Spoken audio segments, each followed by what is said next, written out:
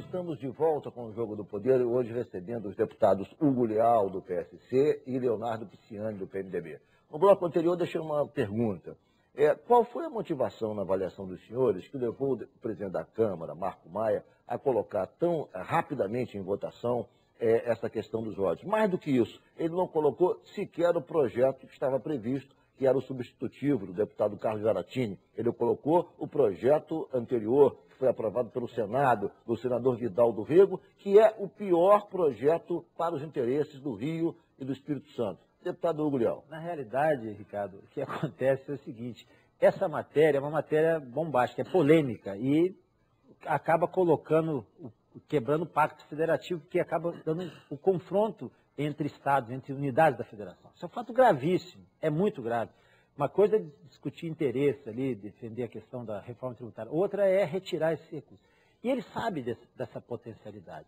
Nós ficamos durante um período discutindo com, com o relator na, lá na Câmara, Carlos Aratim, montando, trabalhando num texto que pudesse ter uma redução menor, que tivesse um impacto, uma, alguma possibilidade e com a certeza de que só trabalhasse com os recursos daqui para frente.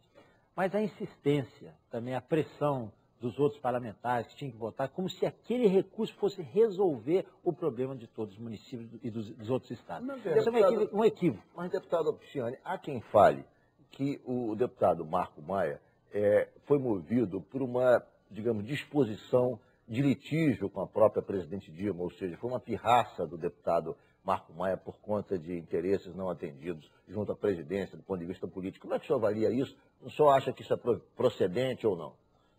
Olha, Ricardo, eu, eu, não, eu prefiro não acreditar nessa, nessa hipótese. né? eu, eu acho que o presidente Marco Maia, primeiro, sofreu sim uma pressão, pressão muito grande de, de, de, parlamentares de, de outros estados em grande número, que de forma demagógica defendiam essa matéria sem a menor grandeza, sem a menor profundidade do, do, debate, tratando isso como se fosse um, um, uma, uma, espécie de bingo, né? onde os que importasse quem ia ganhar, quem ia perder, quem perdia o quê, um programa de auditório.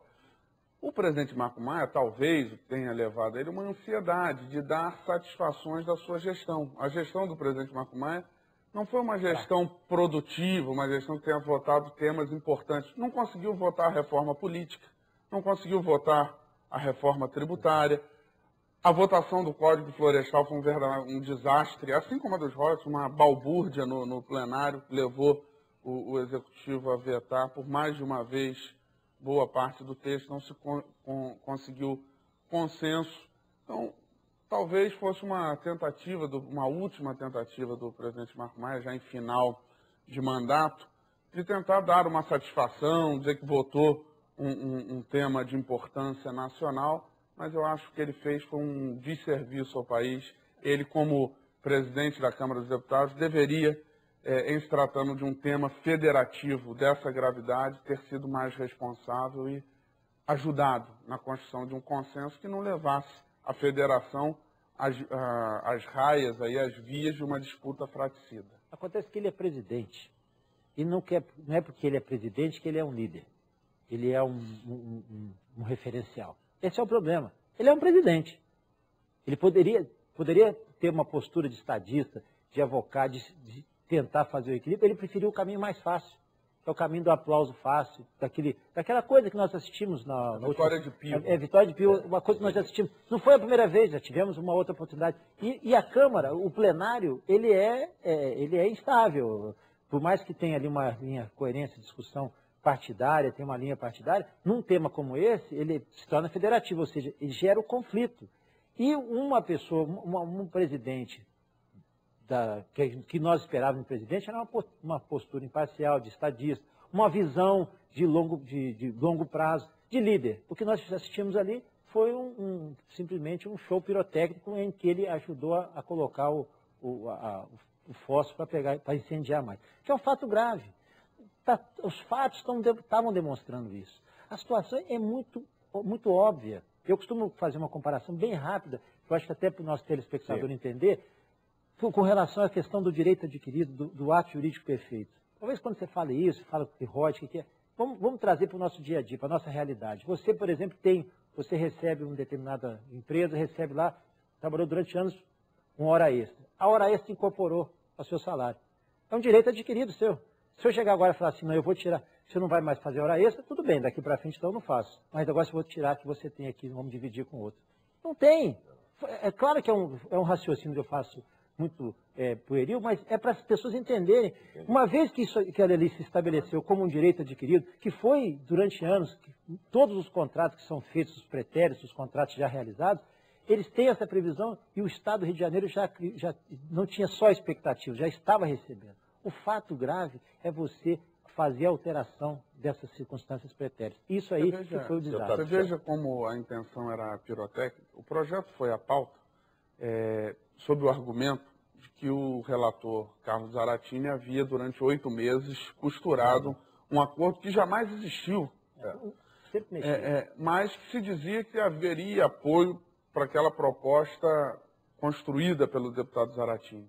E o relatório do Zaratini foi derrotado em cinco minutos no, no, no plenário por um show pirotécnico, como aqui disse o, o deputado Hugo Leal. Essa, a, a confederação dos, dos municípios, é, é, que é presidida por um cidadão que nem prefeito é há anos, é, há anos, há ele, várias eleições. Ele perpetua na não, não, é, um profissional, é um profissional é. da, da, da, da representação, um profissional do, do sindicalismo ali, vamos, vamos, dizer dessa forma.